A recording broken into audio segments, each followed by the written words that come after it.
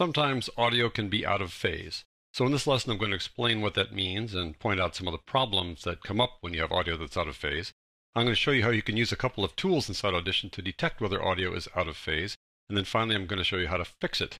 A tall order for one lesson, so let's get started. If you want to follow along, you can go get these three files by going to the Working Files folder, the Demo Files subfolder, and scrolling down and getting these three phase files there, phase, balance, inverse, and timing. First of all, when I talk about audio being out of phase, what do I mean by that? Well, there are a couple of ways that audio can be out of phase. The most frequent circumstance is when the audio channels are out of alignment. Their timing is off. And that can happen when you've got a tape record head that's a little bit out of alignment, so it records one channel ahead of the other one slightly. And we're talking microseconds here, millionths of a second, so it's a little bit off. Or you might have microphones with distinctly different cable lengths that cause timing to be a little bit off for one channel and another. Or you might record an old monaural vinyl record with a stereo pickup and the stereo pickup might get things out of whack because of how it works. So you end up getting channels that are just a little bit out of alignment, which may not even be noticeable, but it's important to get them in alignment if anyone's going to listen to your product in mono. And that's going to happen in FM stereo signals, for example. In the United States, most FM stereo signals are broadcast using what's called mid-side. The mid frequency is actually a monaural frequency with the left and right channel blended together, and the side frequency they're subtracted. And so when they're put together, you end up getting two separate channels. But if you're right on the edge of the receiving area for an FM station, the first channel to fall off as the side channels, so you end up getting a monaural signal. And if there are phase problems in that monaural signal, then it will sound bad. In stereo, phase problems are less obvious, but they show up in terms of the phantom center, where you've got something centered between the two channels, and it seems to be moving around the room a lot. Or you hear drums kind of moving around the room as they're being played. Things like that happen when you're out of phase in stereo. So how do you detect things that are out of phase? Well, there are two tools inside Audition, the old phase meter and a new tool in the latest version of Audition called the phase analysis panel. Let's take a look at the phase meter.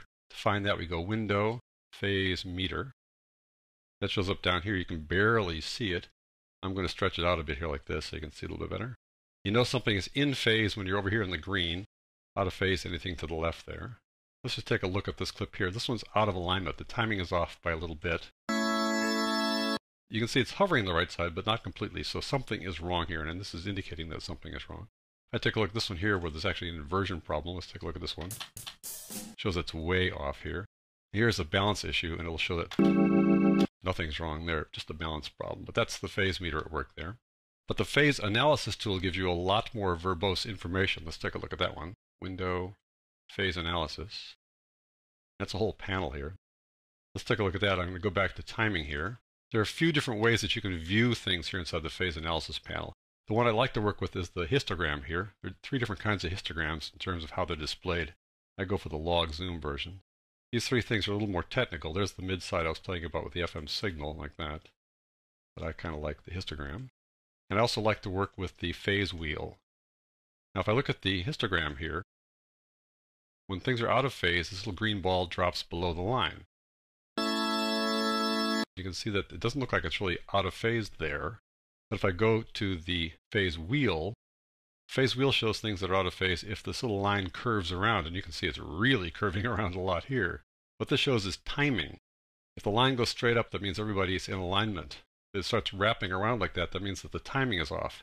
The red colors here are the bass frequencies, and then you go up toward the high frequencies, the treble frequencies here. If you wrap around once, that means you're off by basically one wavelength. And so in low frequencies, the wavelengths are kind of long. They last for a longer time than high frequencies. So if you're off by just a small amount, the basses are not off by much. The higher frequencies are off by quite a bit more. So if you're off by maybe 10 samples out of 44,000 samples per second, if you're off by 10 samples, then you're going to be wrapped around here a couple of times. You're going to be off by more than two cycles in terms of a frequency a high frequency rate. You can see it's kind of wrapping around here because we're off by more than a few samples here. Let's take a look back at the histogram. The histogram has this option where you can right click in the center and change the view. It's the only one that has that. Right now I'm showing the ball and the labels. I can show other things too, like tracers and peaks and valleys, but I like to work with just the labels and this little ball. The ball indicates whether something is out of phase in terms of inversions. So I'm going to change to an inversion here. And you can see that it's below the line here. That means one channel is inverted. I'll show you what I mean by that in just a moment. I'm going to talk about balance, it shows whether things are kind of leaning to the right channel or left channel. And here it's the right channel. So let me go take a look at these things in a little more detail now. I'm going to go to the timing first. Right now you see the timing doesn't show up as any real problem there. But if I look again at the phase wheel, you'll see that the timing is really out of whack here. You can see it by zooming in on the waveform here. So let's just right click here and drag to kind of zoom in. Do it again. Now you can begin to see things here.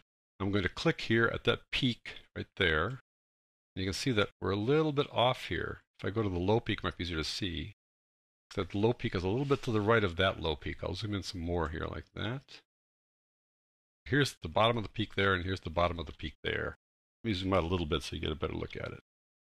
Things are just a little bit out of alignment by that distance. So I'm going to go from right here, let's say, right about there. And that's the distance that it's off, right about that. And if you look down here for the duration, I've set this to samples. The normal setting is to be at decimals like that. And the duration of, let's say, four samples won't even show up. This is a thousandth of a second. We're talking millionths of a second here. I change back here to samples by right-clicking and going to samples. We're off by about four samples here in that little section there. That's just kind of a rough guess based upon my zooming in here. And so we can adjust this using the automatic phase correction effect. So to fix that, I go to Effects, Noise Reduction, and go down to Automatic Phase Correction. And inside here, you've got a global time shift. If I click on that, we could try to figure out how many microseconds that thing is off. To do that, I would divide 4 into 44,000, which would be 1 ten thousandth, and then I can convert that to millionths, which would be about 100 millionths. I'm not going to do that here. I'd rather do it automatically, so I'm going to turn off global time shift and go for auto align the channels. I'm going to take the default settings here by clicking on default. And we'll click apply to the whole thing here. Let's see if things line up. There you go. You can see they lined up really nicely right there. Everybody is now showing that things are in alignment. And look at this guy. He's saying, yep, nice job. It wiggles around a little bit because of the vibrato of the organ, but you can see it's going straight up like that. So we took care of timing by looking at the phase wheel, seeing that it was off. We could see it was off by a few samples here. And then we fixed that by using the automatic phase correction effect. All right, that's timing. Let's take a look at inversion. Double click on this. This shows an inversion too. You see it's pointing down. Right off the bat, something is wrong when you see the red line going down. It's more obvious if you go take a look at the histogram. It's way below the line like that. It occasionally drops below the line, that's not a problem. And it happens a lot with drums to occasionally drop down below like that, but this is down there consistently. So what does it mean to be inverted? Well, what happens is that one waveform here is facing the wrong direction. It's basically canceling out the other waveform. Now, you still hear the sound because there's enough other stuff going on that not everything is canceled out, but some of it's canceled out. So let's zoom in on one of these guys here to see that at work. A little bit more by right-clicking and dragging. And you can see, look at that right there, very obvious. It's going up, the other wave's going down. So this channel down here is inverted, which can happen sometimes with wiring. Also can happen when I'm trying to demonstrate something and I do it on purpose. So let's just take a look at this right channel here. I'm going to select just the right channel by hovering my time selection tool here at the bottom. I got that little R in the lower right hand corner. Click there to select just the right channel. And I'm going to invert that to have it go back in place. And to invert it, I go to Effects, Invert. Now we're back in place, and now you can see we're happy over there. The green ball is now above the line. Take a look at the phase wheel, and it too is now pointing up. Drums do funny things, so don't worry about the fact that it's wrapping all over the place. That's all right. But there you go. We have now fixed the inversion. Let's take a look at one more thing, and that's balance. Now here we are in balance, and it looks like everything's fine. I'll zoom out all the way there. Take a look at this. Here in the phase wheel, we're doing great.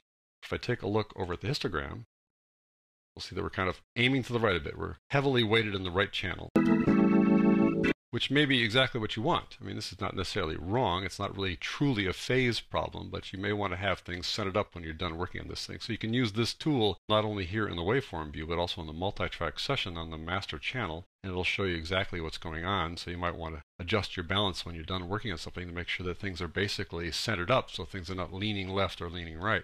So in this case, we can correct this by just increasing the volume of the left channel to compensate for the fact that we got a little louder here in the right channel. Or I could reduce the right channel. Let me just select the left channel here by hovering at the top and selecting that channel. coming up to the volume control here, raising it up a bit, say maybe three and a half. And now we'll check that out. And I went a little bit too far there probably, so I'll undo that. Controller Command Z. I'm going to type in the left channel, just 2.5 here. 2.5. Try this now and see if that works. It's a little bit to the left. I could maybe make it 2.3, something like that. But you can see that we've now made that adjustment. So that's how you can use this really cool phase analysis panel to determine whether things are out of phase in terms of timing, inversion, or balance, and then how you can fix those things.